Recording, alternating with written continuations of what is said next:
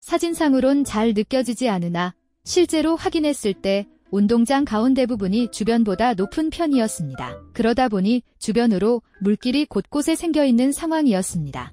특히 이번에 작업할 운동장은 배수로가 전면 설치되어 있지 않고 세면만 설치되어 있다 보니 구조상 배수로 없는 부근은 물골과 물고임이 발생하는 상황입니다. 운동장 한쪽에는 나무 근처에 운동기구가 설치되어 있었고 그 주변으로는 굵은 돌이 깔려 있었습니다.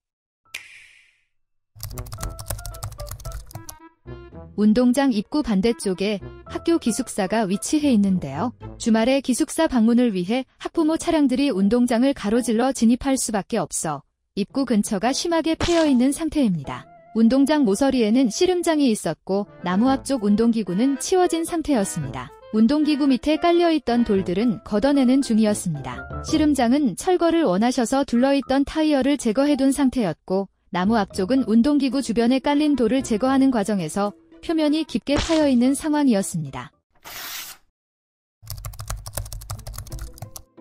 작업 전날 비가 내려 운동장에 수분감이 있습니다. 비가 내린 후여서 그런지 운동장 물길이 더 선명하게 확인되네요.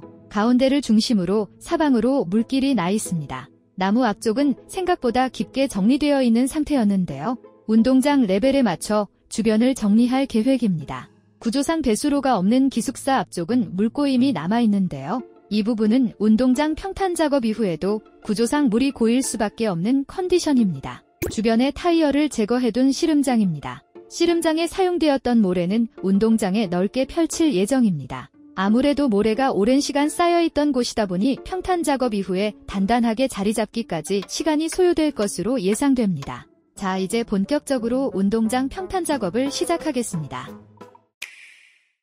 모터그레이더로 높이 솟은 가운데 부분부터 정리해줍니다. 일반적인 학교 운동장은 운동장 조성 시 배수를 위해 가운데를 살짝 볼록하게 시공하는데요. 살짝이 아닌 과하게 레벨을 잡아놓으면 사방으로 흘러가는 물의 유속이 빨라지면서 물길이나 물고임 등이 발생하게 됩니다.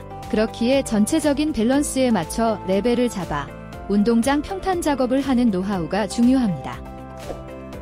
모터그레이더로 운동장 평탄 작업을 진행함과 동시에 대형 평탄볼을 이용해 표면 정리 작업을 진행합니다. 작은 원을 그리며 원심력을 이용해 표토 3에서 5cm를 힘있게 긁어줍니다.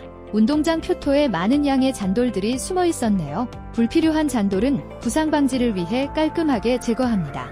깔끔히 정리된 표면에 준비한 마사토를 하차하는데요. 운동장 복토 작업에서는 잔돌 없이 선별된 깔끔한 마사토를 사용하는 것이 아주 중요합니다. 이제 질 좋은 선별 마사토를 정리된 표면 위에 일정하게 펼쳐주는데요. 특히 나무 근처는 표면이 더 패여 있었기에 레벨을 수시로 확인하며 마사토를 깔아줍니다. 모터그레이더를 이용해 운동장의 마사토를 일정하게 복토하고 동시에 대형 평탄부로 표면을 정리합니다.